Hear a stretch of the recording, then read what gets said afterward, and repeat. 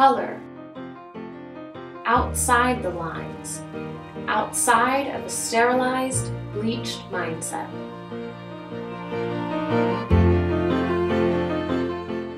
Critical thinking cannot be developed in a vacuum. Education is a process of empowering students to appreciate, understand, and contribute to the world. Education, tightly sealed in bubbled answers.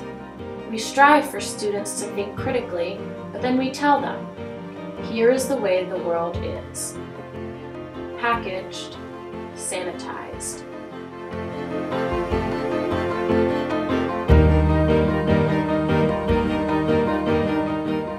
What if we learned in the same way that we finger painted? The colors, a blank sheet of paper. Art opens doors to access things you can't say or access otherwise. Critical thinking can be so much more than a monochromatic worksheet.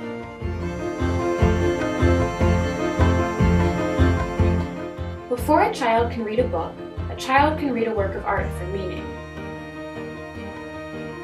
Do we know learning to analyze, experience, and challenge art transfers to critical thinking in science or history?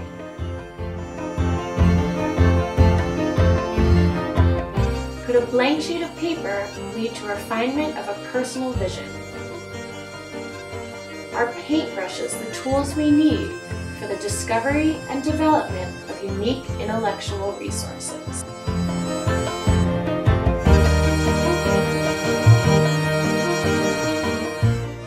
Smearing becomes finger painting. Finger painting becomes brushwork. Brushwork becomes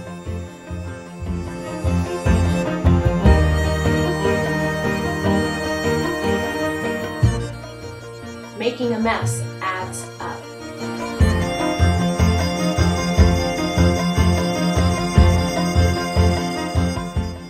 So the challenge? Smudge the lines.